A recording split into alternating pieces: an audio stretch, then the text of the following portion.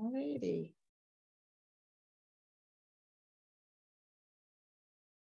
All right.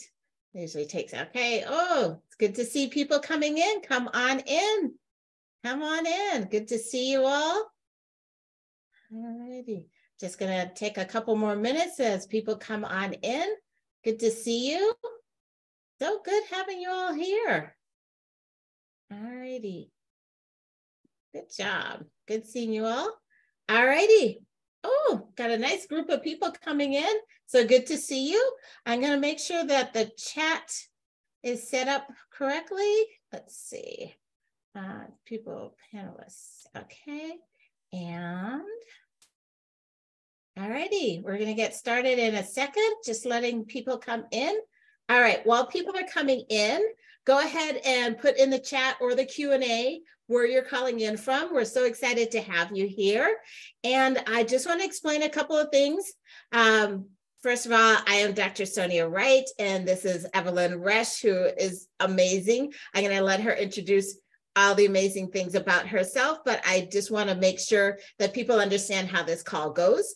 So if you have any questions, you can put it in the chat. It goes directly to myself and Evelyn, or you can put it in the Q&A. The Q&A has a feature which is an anonymous feature. And so any question that you want to ask, uh, then feel free to put it in the Q&A so that uh, we can answer it for you. Either way, we do not say people's names. We'll just read the question and we'll answer the question and we'll give you some coaching on it.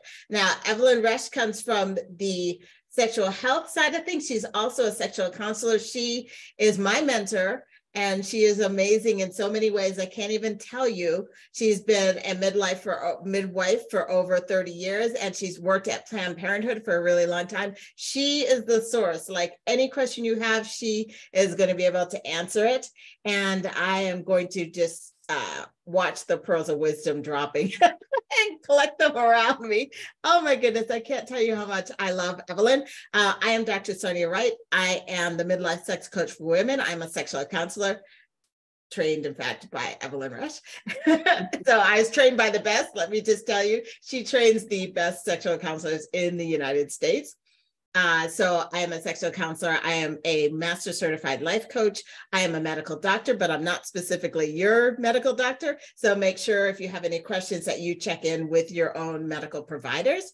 And um, I also am a toy, sex toy enthusiast. So those are all the different things. So I'm going to just check where people are calling in from, and then I'm going to have Evelyn take over. So feel free to put your questions in the Q&A uh, or in the chat if you need the um, anonymous feature it's in the q&a uh, people are calling in from california philadelphia western virginia uh, western massachusetts minnesota uh, all over the place. So it's so good to have you here. And evelyn i am going to let you take over. Uh, oh we got even got topeka kansas. So good so good. So and then also start putting your questions in the Q&A and we will get to those right away. So Evelyn, introduce yourself and I will start getting some of the questions we have. Well, it is always a pleasure to do these things. Um, I am, uh, uh Dr. Wright and I are each other's um, presidents of each other's fan clubs. And I, I just, I love these forums because it gives people an opportunity to ask questions that they don't necessarily want to ask their healthcare provider, or don't have the time to ask their healthcare provider. So let me tell you a little bit about, about who I am in the world and, and the work that I do. I'm 64. I have been a certified nurse midwife, which is an advanced practice nurse in women's health, um, for 30, 32 years, but I've been in the field for 38. And um, I used to do what's called full scope practice, which included doing deliveries and prenatal care, postpartum care. And then about six years ago, I left the private sector doing that and I moved into working for Planned Parenthood. Uh, and I do really enjoy that. I work for them three days a week. And then I also have this other part of my life as a sexuality counselor, and I have a private practice providing consultations and teaching and forums such as this. So, a lot of what I do uh, these days has to do with sexual health. And in particular sexually transmitted infections, which in the course of my 38 years in practice, I have never seen rates as high as they are now. So when I'm talking about sexually transmitted infections, I'm talking about HPV or human papillomavirus, gonorrhea, chlamydia, syphilis, HIV, and then hepatitis C is attached to that. Although it is not specifically a sexually transmitted infection, it can be transmitted through sexual contact. So, right now, our, well, for the past really three and a half years, maybe four at this point, our rates of gonorrhea, chlamydia, and syphilis have been staggering. And that's a lot of what I treat. Um, it's a lot of what I counsel people on prevention and prevention of transmission. And, um, and I also work with HIV prevention as well. So I'm hoping that we have some questions already, or perhaps you have some questions for me, Dr. Wright. Maybe you do. Uh-oh, I lost, I lost the sound. Oh, there you are. Okay. That's me. I do have some questions. Um, oh, um, you might need to to mute in between just in case I'm reverberating with you. Uh, but one person uh, asked in the in the um, chat, what about herpes? Is that on a rise Oh, or just yes. better at? Oh, that that actually is. Thank you for reminding me about herpes. I mean, how did that escape my mind? Um, yes, herpes has the, our prevalence and incidence have increased, and for people who don't know the difference, the prevalence of of an infection is the number of cases in a single snapshot at any given point in time. The incidence reflects the number of new cases over X period of time. So the incidence over the past 12 months, that tells you what percentage increase. And there are definitely more cases of herpes than we've seen before. We have more folks in the general population who are positive for herpes, for genital herpes, than we've ever had. And do we know exactly why this is happening? That STIs are in just on the rise, just overall. Well, yeah, we do actually. And there's some interesting reasons for this. In part, sexual mores have changed radically, I would say, in the past 25 years in the United States. And part of how they've changed is the inclusion of hookup apps and internet dating. And, you know, one of the things that's wonderful about the internet is the anonymity that it provides people. One of the problematic things with the internet is the anonymity it provides people. And so it's really difficult sometimes to get a clear answer when you are dating on the internet. You know, who is this person? What's their sexual history? What are they about? Are they telling you the truth? But there's no question that hookup apps have changed the landscape and have influenced um, the rates of STIs, absolutely unequivocally. And the other thing that is a constant that impacts STI rates is the fact that so many people in practice, sadly, but this is true, don't want to talk with their patients about sex. And patients are hesitant to bring up their sexual questions because my experience has been that most patients can tell when their care provider is uncomfortable talking about sex. And if that's the case, you're not going to ask the questions. And in general, people's literacy levels around sexual health are pretty low overall. And I think that that's contributing to transmission.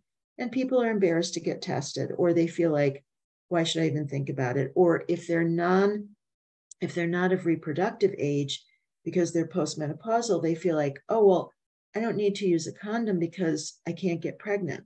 Well, that would be the case, but you can get a sexually transmitted infection.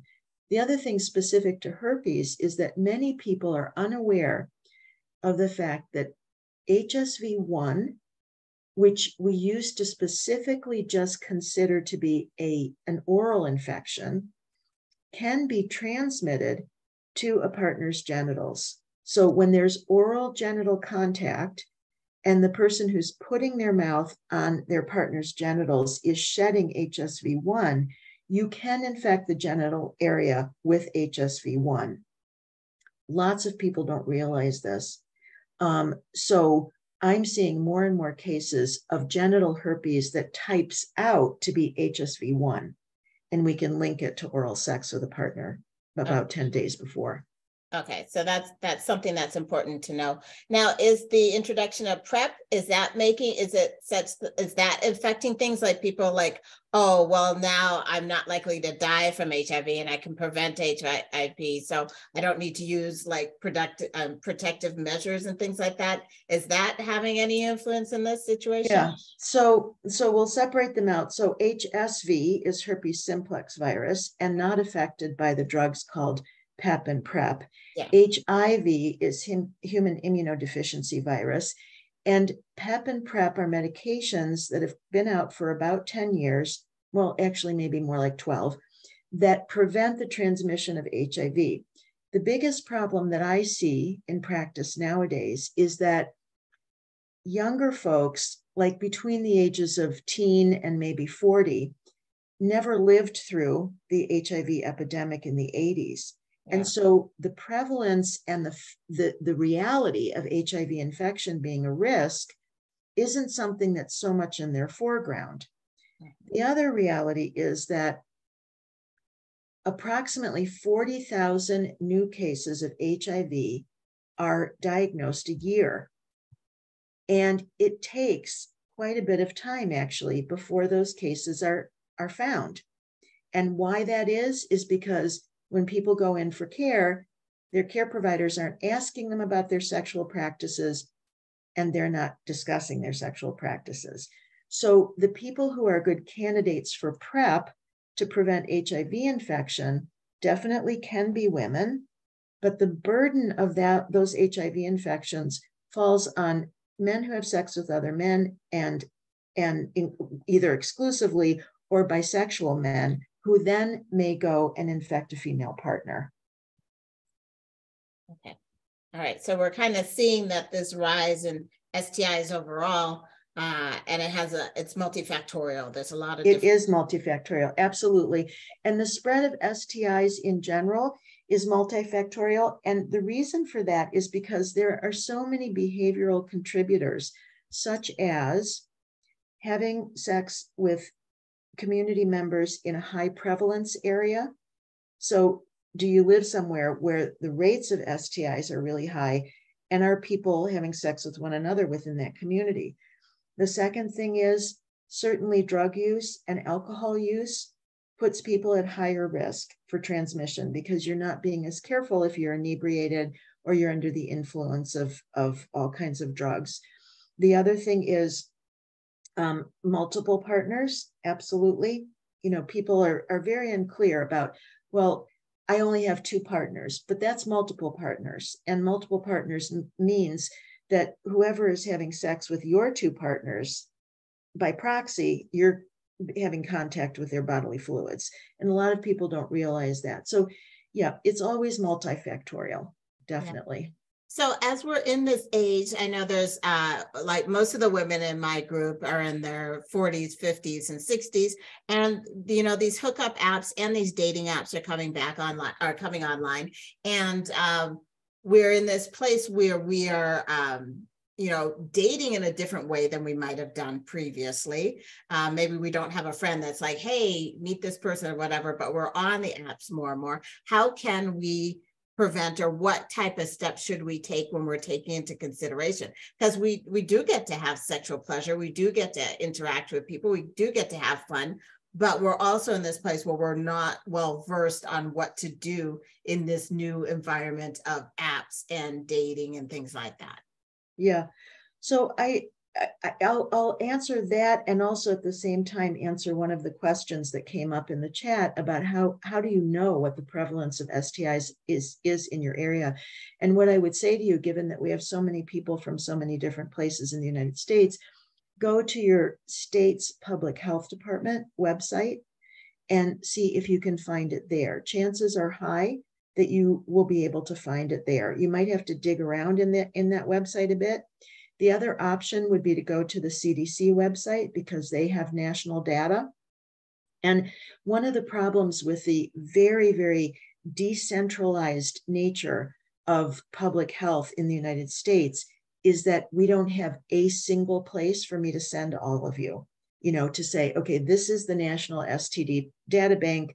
Go in there, put in your zip code, and then presto, you'll get information because the reporting of rates of STIs is very much county and then state determined and is not necessarily fed into a national data bank. So I would start local first with your public health department for your state and see if you can find it that way. And then if you can't, go to the CDC. The next question is how do you prevent this? You know, what do you do? And I think there are a few things. First of all, if you're someone who is utilizing dating apps, I think that after every after every new encounter, within a month after every new encounter, you should have comprehensive STI testing. But before that happens, I absolutely recommend condoms. And let me say that not all condoms are created equal. And this is, of course, assuming that your partner is a male partner, right? But we do have female condoms. We have dental dams, which are pieces of either nitrile or latex that can go against women's genitals and prevent or block the mixing of saliva and um, and genital uh, secretions. And if you can't find a dental dam, you can always use a piece of saran wrap. You're going to get the same sensation. You just won't have the transmission of bodily fluids, saliva, and secretions. Um, so, number one, make sure you have regular testing, and especially within a month after a new partner. The other thing is keep track of your testing. Make sure that you remember when your last testing was. And the other thing that I have some people doing with increased frequency, which I think is a great idea, is when you meet a new partner to say to them, okay, let's talk about our STI risks as a couple. When was the last time you were tested? When here's the last time I was tested. Here's my STI report card off of my patient portal. Now, I know at Planned Parenthood, we have an active patient portal. We always post the results of people's STI testing to that portal, and they can bring it up on their telephone and say, Here's my STI report card. I was tested last week and I haven't had sex with a new partner since.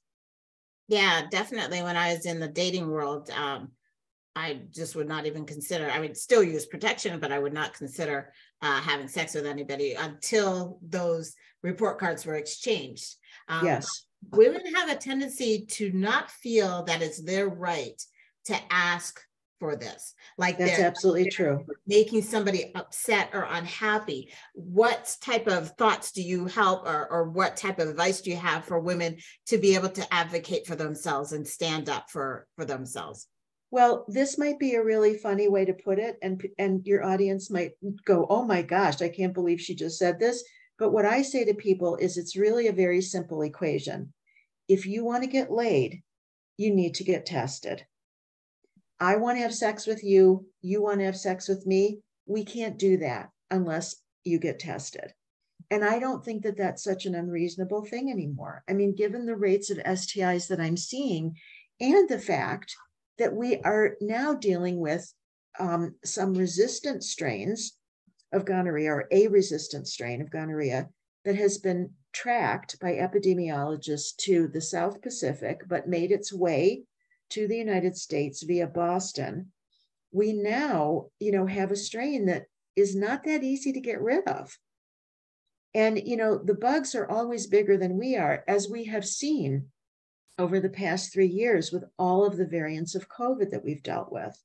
And so I don't think it's such an unreasonable thing to say to someone, I would love to have sex with you. And I need to know that you're not carrying a pathogen that could be harmful to me.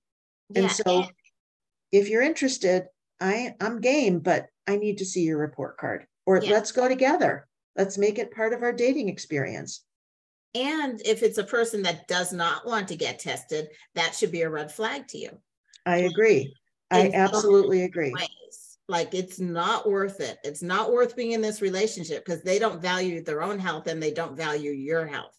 And That's right. that case, there's probably a lot of other things that they're not going to value or put you in, in a place of like um, being able to take care of yourself. So you're just kind of see it as you're doing yourself a favor by not being involved in this person with this person if they don't want to get tested.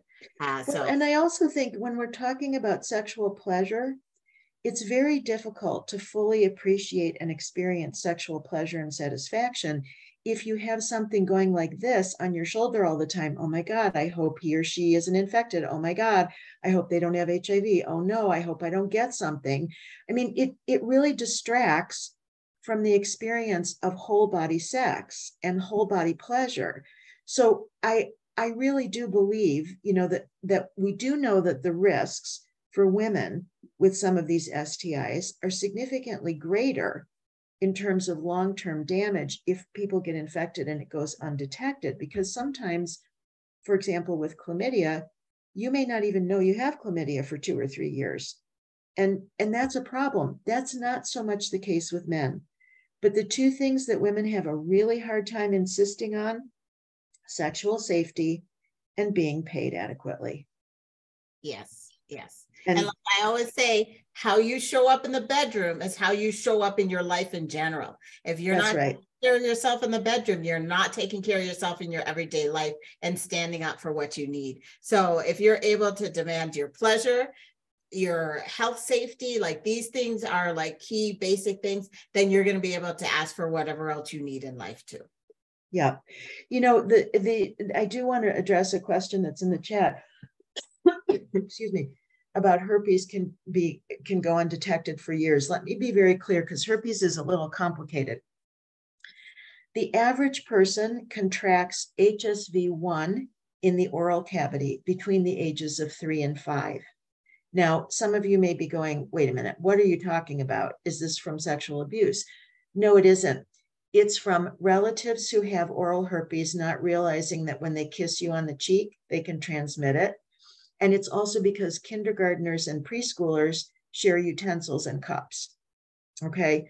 So, what happens in those cases is that folks who get infected as little children often have an oral outbreak that, of course, they don't remember that they ever had when they're 32 or 45, and they may never have another outbreak again. So, in addressing that question of herpes can go undetected for years, in a manner of speaking, yes, it can, because you may have had an infection when you were a little kid, not remember it. Your mother doesn't remember it either. And then, uh oh, all of a sudden you, you have an oral lesion and you're thinking, well, wait a minute, who was the last person I kissed? And that's not actually where you got it. Or you might be shedding the virus orally and you passed it to a new partner. This would be especially true if your partner was female. So, yes, technically it could go undetected for years, but unless people have an actual outbreak, the recommendation is not to routinely test for it. Okay, that's good. Good information. Thank you so much for that. I appreciate it. So there's some questions that we have in the Q&A, and then I have some questions that were sent to me earlier. Uh, so one of the questions is uh, about toys. When choosing a toy for foreplay, how would you determine which toy is best in length and girth? Uh, I'm going to start with this, and then I'm going to ask um, Evelyn to chime in. So, okay, choosing a toy for a foreplay, you need to recognize that it can be any type of toy for any type of concept of foreplay. So, with this one, you're talking about length and girth. It sounds like you're adding the component of penetration in here, if I'm understanding your question, which is one way to engage in foreplay. Um, but you can also just stimulate your clitoris and your vulva region. And so uh, there could be any type of toy um, that you're interested in. It just depends on the person and what type of stimulation you would like and what um, that you enjoy. But if we're talking about length and girth, then the, my first thing is like do no harm to yourself, right? So no pain, no no uh, discomfort or anything like that. And since we have Evelyn here um, to ask, and, and then also I think it takes you need to take into consideration are you premenopausal and postmenopausal because there's different things that are happening here. So now that I started the process and not finished the question, the answer. I could switch it over to Evelyn now for her to go from there. I'm just going to grab something to help me answer the question. It's just right here at my desk. Hang on a sec. Oh, I see you. I know that you're looking at my torso there. Hang on a minute. Okay. So what Dr. Wright is saying is really important because you you don't want to be you don't want to put something in your vagina in a penetrative way that's going to be painful. Or for that matter in the anus. I mean you have to make sure that you're being careful no matter where you're putting something. These are these are dilators of different sizes. I just have two hands so i'm going to be you know and um and here's a very tiny one as you can see okay? So these are all different sizes. And these come from a, a company called Soul Source, and these can be used for foreplay. And they also can give you an idea of what you can tolerate. And to the point of whether or not you are premenopausal, perimenopausal, or postmenopausal, this is going to determine your comfort level. I mean, this this um, dildo-like dilator, in comparison to this one, I mean, this one kind of makes my hair stand on end as a 64 year old person. This one, yeah, like I can accommodate that, you know, if that was the mood I was in. Um, but what you need to do uh, is that you really you, you have to be careful and you, you have to make sure that you're using a lubricant on whichever size you choose. If you want to get a rough idea, if it, let's say you have a goal, you know, uh, to have penetration with a particular partner, my recommendation is that you take a piece of string and you measure the length of his penis when he's when it's erect, um, and then you measure the girth. Okay, and let's say that his erect penis matches this orange prop.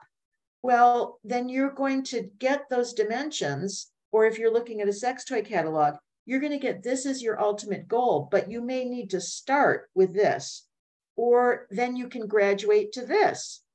And then maybe you graduate to this, and then the big boy comes in. Okay. But I think that we have to be really careful about not putting pressure on the tissue in such a way that it's going to tear because who's going to want to have sex under those circumstances? You won't.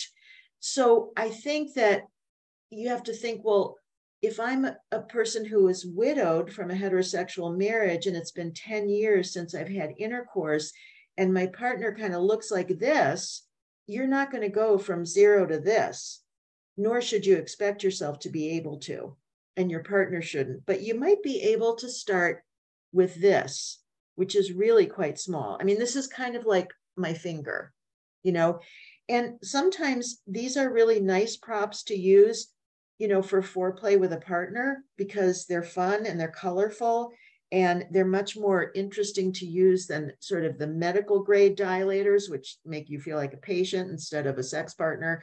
Um, so I think that you know it's it's important to kind of get a sense of the lay of the land, if you will. And and yes, as you're saying, you know, um, oh, that was a great joke, the lay of the land. Um, okay, but as you're saying you know what what condition are your genitals in? You know how flexible are they? And or for people who've never had a vaginal delivery. You know women who have had a vaginal delivery have more sustained uh, stretch from that entire human being coming through their vagina than a woman who's only had a surgical birth.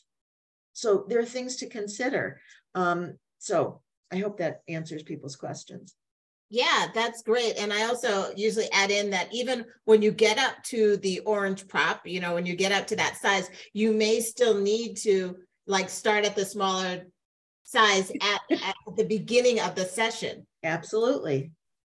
That's right. And you know, I mean, when you have an enthusiastic and very athletic partner and they're coming at you with something like this, I mean, personally, you might feel like you want to run in the opposite direction. But when they're coming to you with something like that, that feels like a little bit more reasonable, okay, that's another story altogether.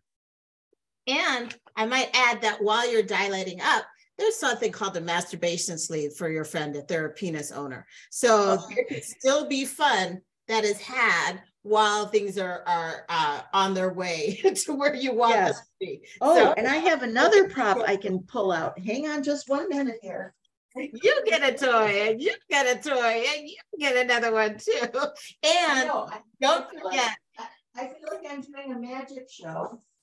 On a keep minute. getting the toy. I'm going to tell you, don't forget your vibrator on your clitoris. Penetration is great, but you like adding something onto your clitoris and clitoral stimulation is fabulous because 85% of women will need some sort of clitoral stimulation in order to enjoy, have more pleasure with this. So uh, I know our society is so focused on penetration, but there's so much more. Oh, oh no. Okay, the OhNuts. I can't seem to find my actual OhNut, but the OhNut, I, I don't know if folks can see this on my camera, but OhNut is O H N U T.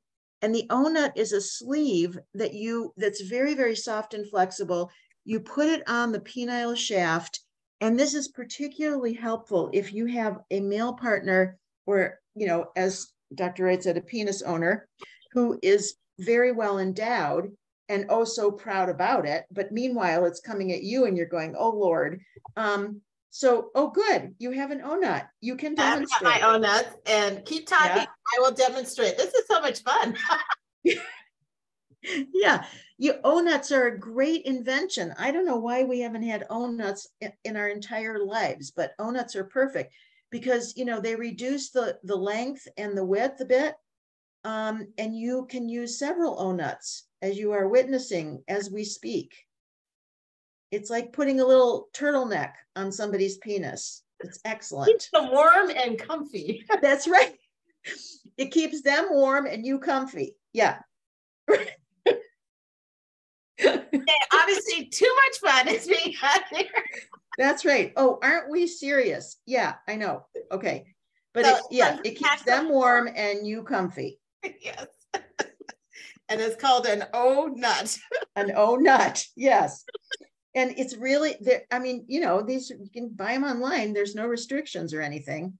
Exactly. Exactly. It's not a hazardous product and it's not made of latex. So for folks who are latex sensitive, you won't need to worry about that.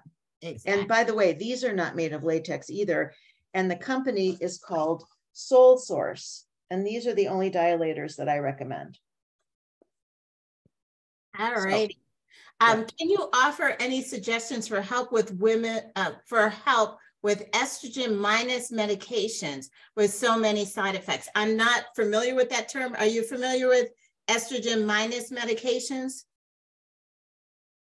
Um, I'm not really sure what the question is. Could they re-ask the question? Yeah, if you could re-ask the question, um, it says, uh, because it says anonymous, so I don't know who it is, but anonymous, could you re-ask the question? Could you offer any suggestions for help with estrogen minus medications with so many side effects? And I'm not sure if this is the same person saying, um, natural help for postmenopausal.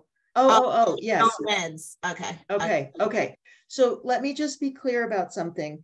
Um, I, I, full disclosure and complete transparency, I am a very staunch advocate of topical estrogen Mhm. preparations for the genital area because you are not facing the same risks or side effects. And in fact, the therapeutic benefits far outweigh any potential side effects that, that you might experience in the beginning, um, which can include if the tissue is quite thinned out, you can have some like an, an immediate itching response because you know you know how when you um, skin your knee and you get a scab and as it's healing it starts to feel prickly and itchy underneath.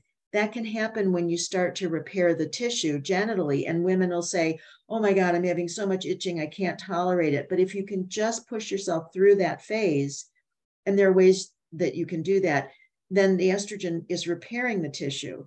But if i have someone who says to me look i just cannot i just cannot reconcile with using a topical estrogen there are two products that I would recommend. One is called Bonafide, B O N A F I D E. You can go to their website. And then the other one is through goodcleanlove.com. It is an aloe free vaginal moisturizer called um, Bio Nude. No, Bio Nourish. I'm sorry, Bio Nourish. And Bonafide and Good Clean Love Bio Nourish are the products that I would recommend. You also can use Um, Good Clean Love is, is BioNourish is a product of the Good Clean Love company, but you can also use um, vitamin E cream. That is another option for some people.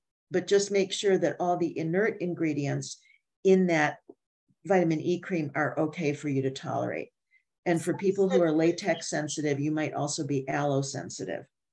Uh, so so getting back to this burning sensation. So uh, uh, okay so if you're using topical estrogen and we're putting it on our vulva as well as in our vagina if we, we're putting it on our vulva and we get a little bit of this burning sensation how long will that generally last and how often do you recommend putting on the topical estrogen on the vulva?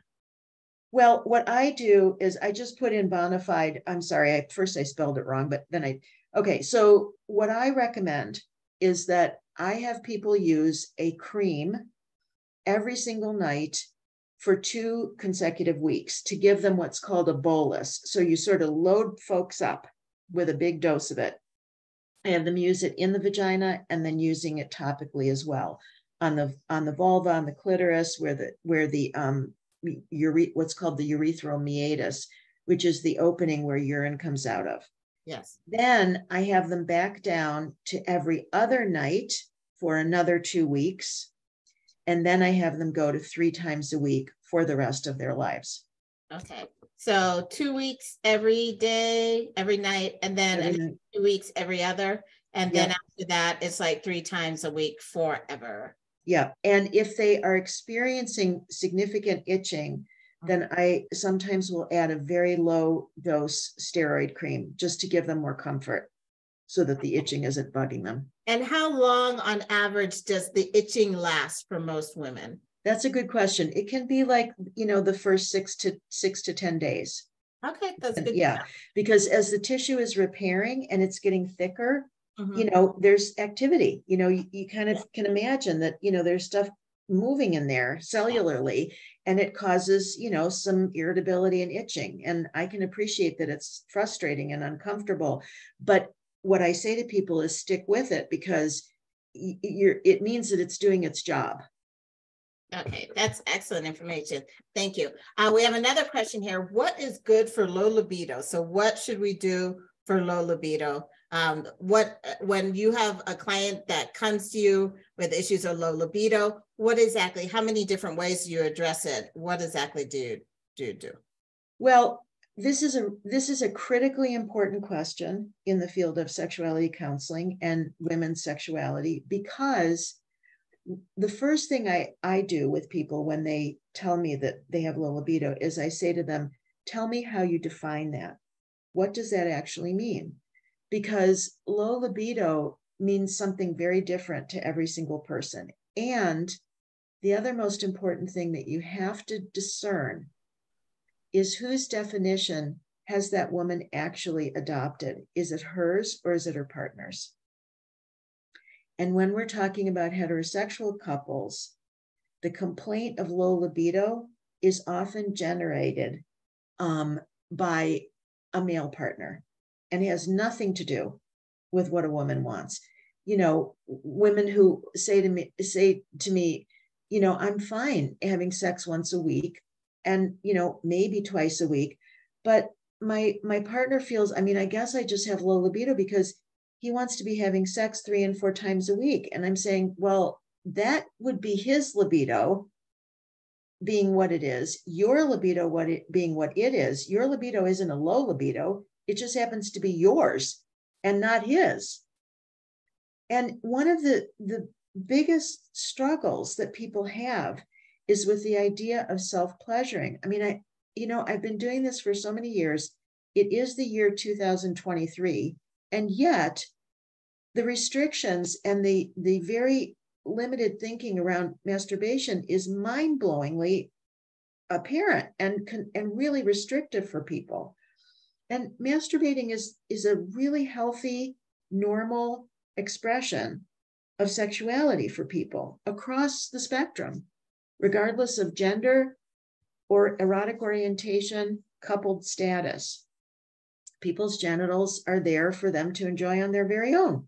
So, you know, one of the things that I use as an intervention is well, if your male partner would like to be experiencing an erection and an ejaculation, um, you know, five times a week, he's certainly welcome to do that on his own steam. But you don't necessarily have a low libido because you don't want to do what he wants to do. Yeah, it's just like if you like pistachios and somebody else doesn't like pistachios, you're not forcing pistachios, can't say the word, on somebody else. You're just like everybody's respectful of the fact that, oh, I like chocolate, I don't like chocolate. And so we don't have it. Right. But when it comes to sex, I find that with heterosexual relationships and partners, that it doesn't matter where the man's sex uh, libido is, that it's the quote unquote correct libido. Like if it's exactly and the woman's is lower, then she has an issue with low libido. If it's low, right. hers is higher, then she's got an oversight, over sexual or hypersexual. You know, these terms start coming in. You know, and it's it's not. We're just two individuals and uh, with different uh, levels of libido. But so I'm going to ask the opposite question because um, there's a lot more women that feel that it's okay to ask and say there's there's discomfort or, or, or emotional discomfort around having a low libido but there's a lot of women out there that are dealing with partners uh, a lot of times partners male or female or non-binary that are not interested in sex at all or, or very low libido and they don't know what to do with that. So the opposite of that uh, if you can address what people do like they'll, they'll say i'm in a loving relationship I have a partner that has no interest. A lot of times it's a male partner and they don't know what to do because society says that men should be interested in sex all the time. And they they have this higher libido, the women do, and they don't know what to do in that situation. So when you look at the the research on this issue of in heterosexual relationships where men have an, a very low or absent libido, oftentimes it's related to erectile function. And erectile function starts to become disappointing for the vast majority of men after they clear around age 47. They are going to start experiencing erectile difficulties. And this is related to vascular health because men have higher, higher prevalence of vascular disease earlier in life than women do. And when you've got um, blood vessels that are clogged, they're not just specifically clogged around the heart, they're clogged body wide. And the blood vessels that go into the penis, that when they fill, cause an erection, also start to narrow with plaque. So, what we've seen is that in heterosexual couples where men are not interested, it's often related to the fact that they cannot either achieve and or sustain an erection okay? Now what i always say to people is okay look um, what you have to remember is that your most active sexual organ is your skin. It's not your genitals it's your skin. First of all your skin is your largest organ in the body and people don't think of their skin as being an organ but um, but it is. I mean, it is your, the largest organ, and it is your barrier against infection. It's the way that you greet the world. It's it's a very important organ. So your skin is your most important sexual organ, and intercourse is just one of the many things that people can do that can be sexually and intimately satisfying. And if intercourse isn't an option, it doesn't mean that pleasure is not an option also. And I work a lot with people who are aging around the idea of erotic affection. What is erotic affection, right? Erotic affection is laying next to each other without your clothes on and being skin to skin. It's kissing one another. It might be showering together. It might be applying lotion on that beautiful skin after you've showered. It might be holding hands, you know, while you're watching a movie. But people have very, very intercourse centric views. And when intercourse isn't there, it's like they throw the baby out with the bathwater. Okay, I'm just looking at something in the chat. Okay, so it's my issue.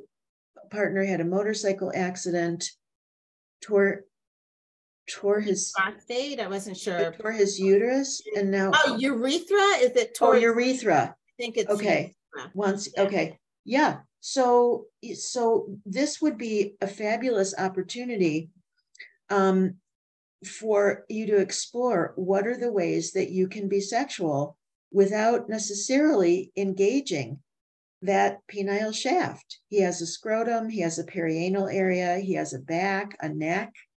Um, and so I think that, you know, there are ways for people to allow their bodies to be touched that can be deeply satisfying and very much specific to that intimate relationship that are clearly sexual. And you also get to add on, uh, have discussion around this because sometimes um, men have an idea about what it means to have or not be able to have an erection and what it means to have um, different toys and things. But you also get to have the penetration if that's something that you would want. Uh, there's dildos out there. There's lots, a lot of fantastic dildos. There's lots of toys, like yeah, yeah like that, or dildos. Or this one's like a beautiful one. So you get to have a lot of fun, and you get to have a whole different type of experience with your partner. This doesn't have to be by yourself. As Evelyn's saying, you get to have it with your partner. It gets to be touched. Uh, there gets to be pleasure. That you don't necessarily need to have an erection. A man doesn't necessarily need to have an erection uh, to in order to have an orgasm. So there's a That's lot right that can happen here where that um, we can but what it is going to be important to, is to have a conversation as to is this cause discomfort? Is this why you don't necessarily want to have an erection? What is going on here? So that you two can come together as a team and figure out how to still have the pleasure that you need and deserve, and also make sure that your partner is comfortable and they're not having discomfort. Uh, and uh, it, when you two get to be creative with this, then you figure it out. Uh, and then you end up having a really beautiful and amazing sexual uh, sexual relationship and sexual intimacy. And really, the goal I think is to have this incredible sexual uh, intimacy that lasts into your 80s, 90s, 100. Like so, if you don't have the issue now, people are going to have the issue at some point in time. So it's okay if you're starting to discuss and deal with this stuff now. Uh, the important thing is to keep the connection there, to keep that satisfaction there, to have the pleasure there. And you get to be creative to figure out how to do this. But it does require sometimes having conversations that feel a little difficult to get a better understanding of what's going on, what would you two like to have in the bedroom, what is not necessarily possible with their partner, what's causing discomfort or pain. Because as soon as discomfort, pain, shame, uh, guilt, those type of things come in, then one or two partners shut it down. But if you can keep the communication open, you can definitely go from there and create this amazing sexual intimacy. Uh, and you get to create it and define it yourself. That's it. That I could not agree with that more. And I think that you know one one of the things that's important to know is that while this particular participant may have a partner who had a motorcycle accident and damaged the urethra, every single one of us is going to face some kind of challenge when it comes to sexuality at some point in our lives. And, you know, the maxim in our work is that the hardest person to talk to about sex is the person you have sex with. I mean, I know that sounds ridiculous, but it's much easier to just jump in, you know, and start touching each other's bodies than it is to stand back and say, okay, how would I like to have my body touched? Or this is what I'd like you to do to my body. It's a it's a very peculiar feature of sexuality. But the one thing I would encourage people to do is that when you decide that it's time to have a conversation about sex, don't do it when the two of you are feeling even more vulnerable, which is in the bed without your clothes on. You need to be talking about this when you're having a cup of coffee and you're sitting upright in your living room, you know, or you're having breakfast together or you're on a walk and the other thing that I would say is that if you have a, a relationship with someone where sexuality is is has always been an expectation because the two of you have agreed you are sexual partners it is perfectly reasonable to be a partner that says look this hiatus this moratorium on sex is not okay with me you need to work with me here so that both of us can be sexual again in a way that works for you. It is perfectly within your right as an established sexual partnership to be a partner in that group to say, it's not okay with me that sex is gone now. It's just not. We have to find our way through this. Yeah, definitely. Okay. Um, I got another question that was emailed to me. Uh, and we've kind of touched on a couple of these areas, but I wanted to make sure that we definitely answered this question. Uh, this is a woman. She says, Everything has changed for me. I don't even recognize my terrain. My labia used to be long and full, and they have shriveled to barely there. How can this happen? I have a I had a terrible sexless marriage for so long that I felt dead inside, no attraction. Now at 60, I am free and on my own. I want to find my sexuality again, but I don't even know where to start. I can't even fit a vibrator in there anymore. Am I helpless? It feels helpless. Okay, I'm sorry. I'm taking a little snack. Yeah. Um, because my blood sugar is going a little low. Um, okay first of all, that is a beautiful way to put it that you don't even recognize your terrain because in fact your terrain and the architecture of your genitals has changed and that is true for 40 to 60% of all women who are lucky enough to be postmenopausal however however it is shocking and it's alarming and you look at your genitals and you think whose body is this? I've never seen these genitals before. What on earth is going on here? Well, what's happened is this is the impact of ovarian retirement. When you have less circulating estrogen, the tissue changes. And in many cases, my own body, I don't have labia minora anymore. They have just flattened, gotten really, really invisible. Well, they're not even invisible. They're just, I mean, yeah, they're just not there the architecture has changed. My terrain has changed dramatically. I'm 64. And sometimes I look at my genitals and think, oh my God, you know, somebody came in the middle of the night and put somebody else's body on this part of my body. And it is really upsetting. And it, it, you have to, you, it, it is an adjustment. This, these are your genitals after ovarian retirement. And this is part of why vaginal estrogen is so important because not only does the architecture change, but the, the health of the tissue changes. You are not hopeless, but you have to find someone who can help you with a really, you know, um, specific, intensive vaginal estrogen reparative therapy and then stay on it. But this is not your imagination. And then how does she um she's been in a sexless marriage for a long time. She's now out of it and she's trying to figure out how to find her sexuality again. Uh, I want to find my sexuality again, but I don't even know where to start. Well, I mean, I think that you you already have started. You're sitting in on this, you know, program. And I think that, you know, working with someone like Dr. Wright is is a great way to do this. You know, who am I now at this stage in my life? What do I enjoy? I would encourage you to get a vibrator because what happens with vibrators for postmenopausal women is that we compensate for decreased estrogen by increasing horsepower in our stimulation. And that's what works. Um, and, you know, any doctor who says, oh, this is what happens when you get older. Um, yeah, well, that's true, but it doesn't mean that you can't find ways of managing it and living with it more comfortably and happily. I mean, when doctors say this, you know, what I want to say to, to, especially to male doctors is, well, if your rectum went through significant changes like that, um, don't you think you would want somebody to help you out with this? And the answer is, of course they would. But sadly, the older woman's genitals just don't really seem to matter to anybody except to us.